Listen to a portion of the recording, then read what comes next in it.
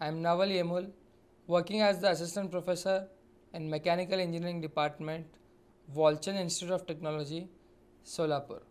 In this video, we are going to see the Python programs with decision making statements. Learning outcomes.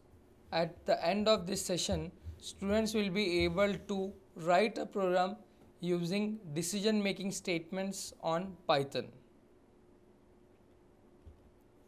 Content of this video is introduction, then we are going to see what is if statements and programs using if statement, if else statement, then program using if else, nested if, then programs using nested if, then elif statement, then programs using elif statement.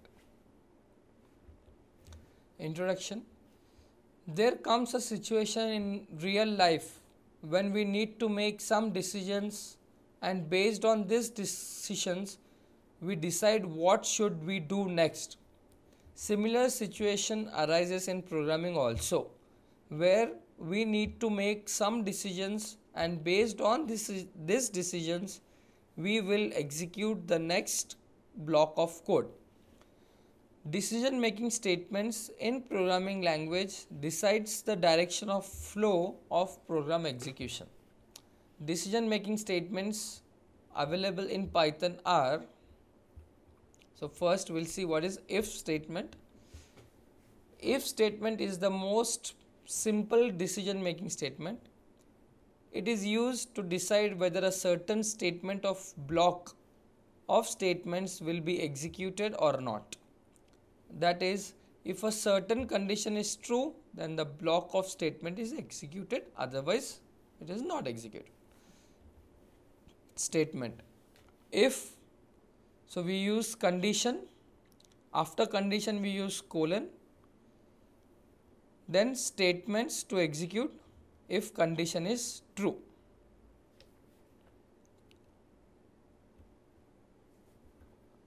So we'll see a flowchart of if statement.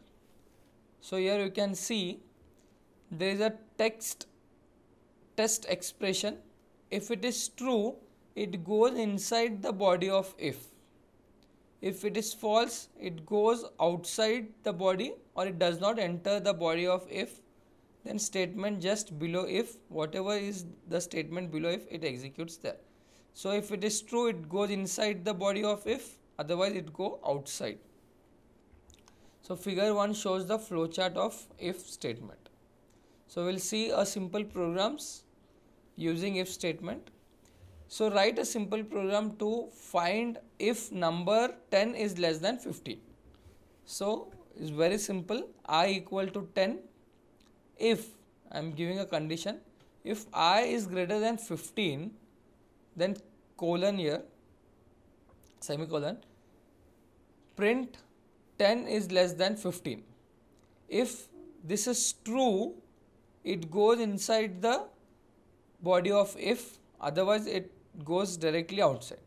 Here 10 is not greater than 15 so it is false. It goes directly here and it will print I am not in if. So the output for the statement would be I am not in if Write a program to find the largest number using if statement. A is 33, B is 200.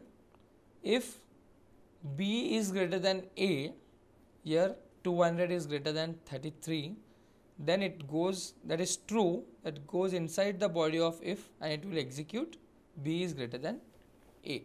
So your output would be B is greater than A. So write a program to find the number is even or odd. So here I am taking a variable num in, in the form of data type integer input enter a number. So if the condition would be num modulus 2 that is used for the remainder if we divide this with 2 and if the remainder is equal to equal to 0 we have seen all these operators in second video and third video. Please go through the second and third video. Then if the statement is true then it will print. The number is even. If the statement is false it does not print. Number is even. So enter a number. If the user enters number 10 so 10 mod of 2 the remainder would be 0 then it will print number is even. So next is if else statement. The if statement alone tells us if the condition is true it will execute a block of statement.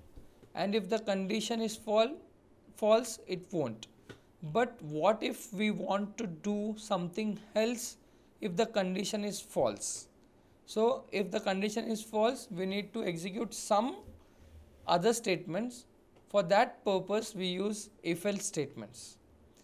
We can use the else statement with if statement to execute a block of code when the condition is false. So we'll see the syntax. If we'll put a condition then colon. Executes this block if condition is true if condition is false then it goes inside the else body then it executes the else block. So we'll see the flowchart of the if else statement. So here test expression. If it is true it goes inside the body of if.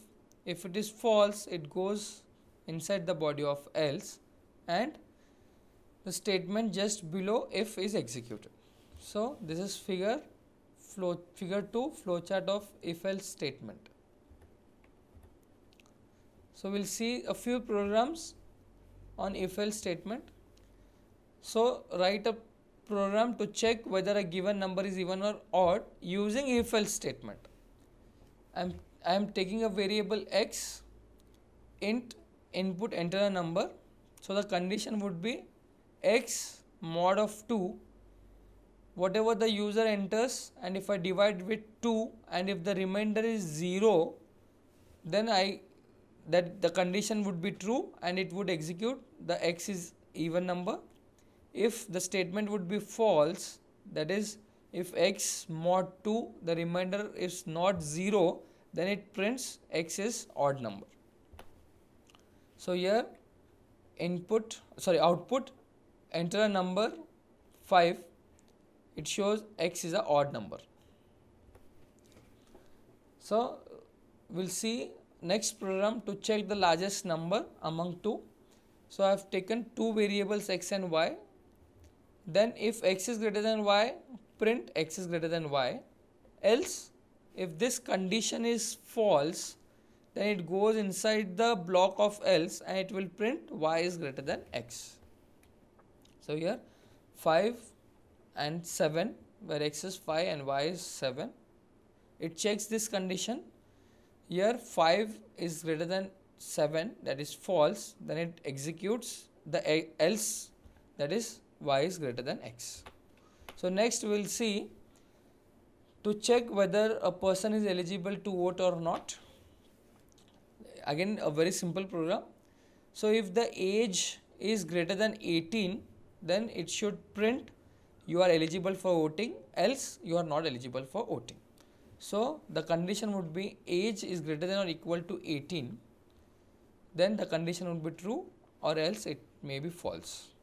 If the user enters the age as 90 you are eligible to vote. So you get you are eligible for voting. Nested if statement. A nested if is an if statement that is targeted to another if statement nested if statement means an if statement inside another if statement yes Python allows us to nest if statements within if statements. That is, we can place an if statement inside another if statement. So, we will see a syntax. So, condition number 1, if it true, it executes here. If you have more than two conditions, we use nested if. If condition number 2, it executes if this statement is true. Then this if statement ends here and this if statement block is ended here. So we'll understand more detail in flowchart of nested if. So here the text expression if it is false it goes to the body of else. If it is true then nested text expression is checked. Here there may be two condition that is true and false.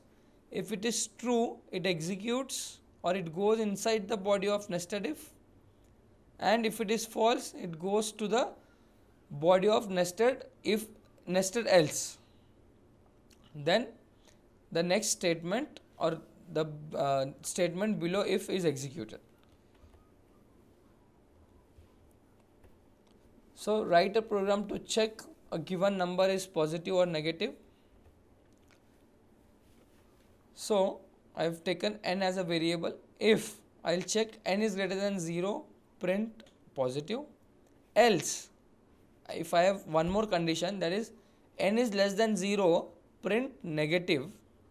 Else print 0 so here if inside if there is one more if statement so we call this as nested if example so here if I enter the number 6 it shows positive and if I enter a minus 7 it shows negative write a program to check the number of digits entered by the user. So here nested if again. So you can see the indentation over here. If n is less than 10, print you entered one digit. Else, so I have one more condition. If user enters the digits from 11 to or 10 to 100 or 99, then it should print you entered two digits else if n is less than 1000 that is if user enters till triple nine you entered three digit number and apart from that if user enters any of the number more than three digits then it should show you have entered three digit number so if the user enters 5 the output would be so if this statement is true it shows you entered one digit if the user enters 15 it will come to this second block and it checks the condition and it will print you entered two digit number. So these are the references I have used. Thank you.